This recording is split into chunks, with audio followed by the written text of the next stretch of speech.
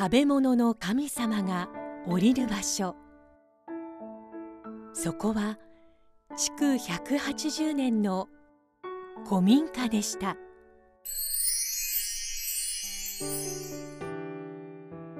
今日のグッドサインは五感を超えたおもてなし。羽化六根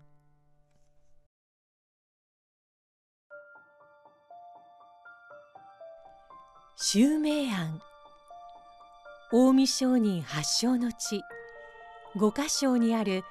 築180年を超える豪商の屋敷跡です。この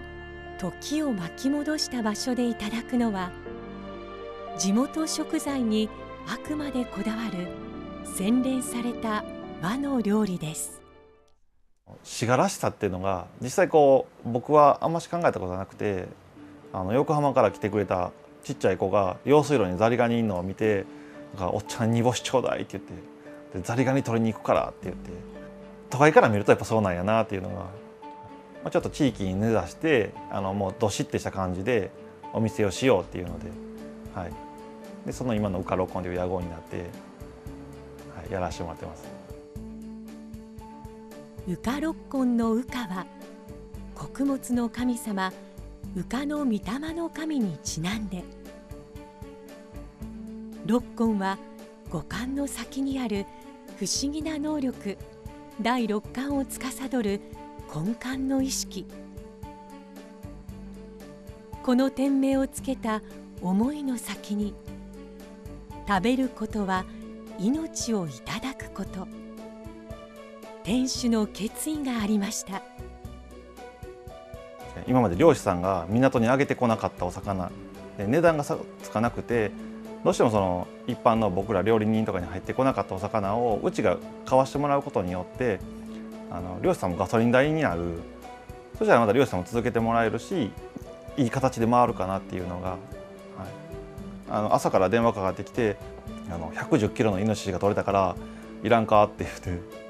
やっぱそのどうしてもジビエっていうと例えば血生臭いとかあのうちのお客さんでもそうなんですけどいいイメージを持ってる人がやっぱ若干少ない。使う食材は琵琶湖で採れる古魚はもちろんうなぎやすっぽん山の幸の鹿や熊まで杉本さんの食材に対する慈しみの思いはつきません。っぱ命いただいてるんでできる限りその何て言うんですかね食材を100%使ってあげたいっていうのがやっぱあるんで本来その一匹なり一頭なり持ってる例えば美味しさっていうのがあのやっぱ骨とかって出汁も出るんでそれほかしてしまうと終わり。多分焼いて例えば出汁を取ってそれそれをまた身に戻してあげるっていうのを今やってて身に戻してあげたら持ってる以上のちょっと味ができたらいいなっていうのがはい、あっていつもやってますね。食べることは生きること。何かを失った私たちが未来へ伝えなければいけない場所と時間がここにあります。